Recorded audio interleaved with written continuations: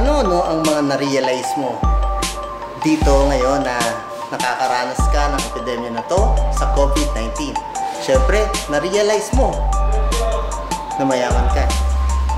Kung ikaw ay nakakapagbigay, kung ikaw ay nakakatulong, at walang problema sa mga kain sa araw-araw.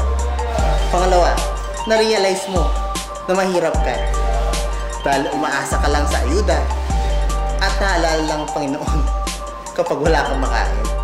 At number three, na-realize mo na wala kang ipon at na-realize mo rin ang kahalagahan ng pamilya at ang kahalagahan ng may bahay na matitiran.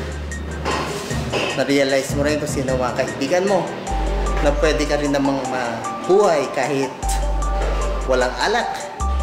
At syempre, na-realize din natin na kaya nating mabuhay mas walang jowa. Swerte ka pa rin dahil hindi ka nagkaroon ng COVID virus. Kaya there's so much more na pwede mo ma-realize. Ma ito ay isang eye-opener para sa atin lahat. Pero syempre, ang payo ko sa inyong lahat ay huwag na huwag niyong kalilimutan tumawag sa poong may kapal. May pera man kayo o wala. Kaya po, napakarami nating dapat pasalamatan sa mundo.